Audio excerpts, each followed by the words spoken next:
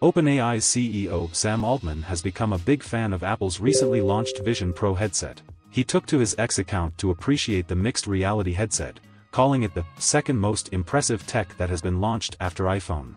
However, he didn't specify whether he'd personally tried the headset.